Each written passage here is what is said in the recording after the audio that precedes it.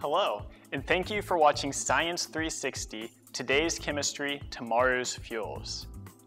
We all know that chemistry is important to our everyday lives, but when was the last time we've ever spent much time thinking about chemistry?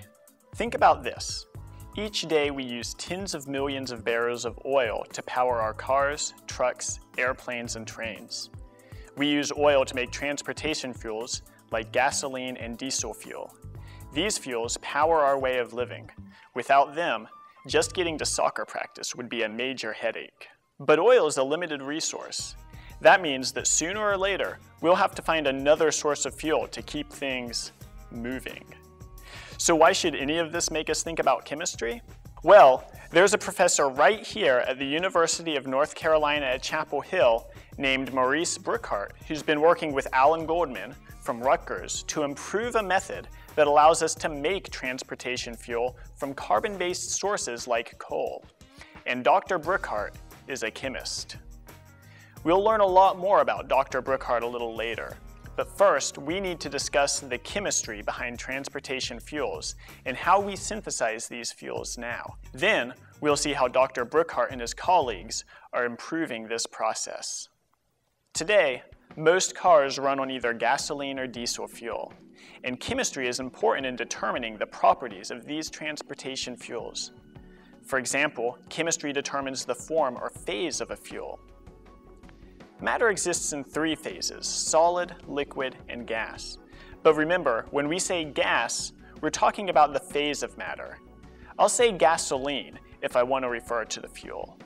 Both gasoline and diesel fuel are made up of chains of carbon and hydrogen called alkanes. And the number of carbon atoms in an alkane determines what its phase will be. That's because the phase of a material, solid, liquid, or gas, depends on how well the molecules of that material stick together. If the molecules of a substance don't stick at all, then the material will be a gas. If the molecules stick together pretty well, then the substance will be a liquid. Substances where the molecules stick together best of all are usually solids.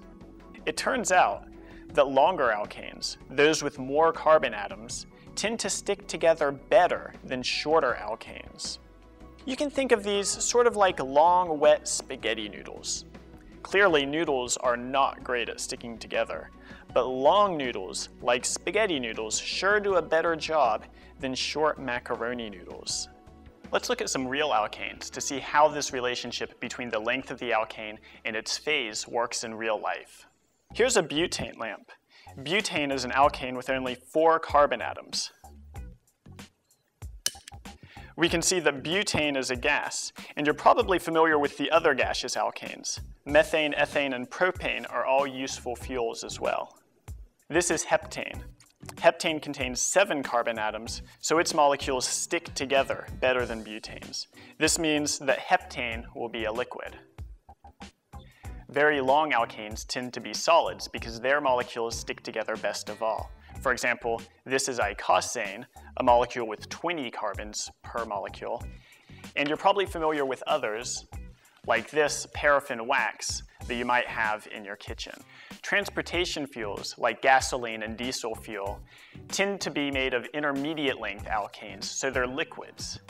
In fact, diesel fuel is made of a blend of alkanes ranging from 10 to 15 carbons per molecule.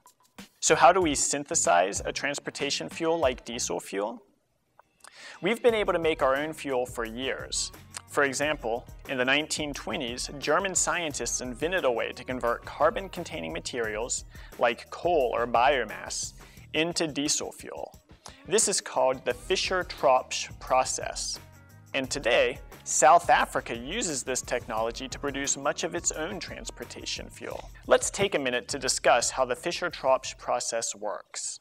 As I said earlier, the Fischer-Tropsch process allows us to turn a carbon-rich material, like coal, into diesel fuel, a useful transportation fuel. First, the coal is heated and reacted with oxygen to form a mixture of carbon monoxide and hydrogen gas called synthesis gas or just syngas for short.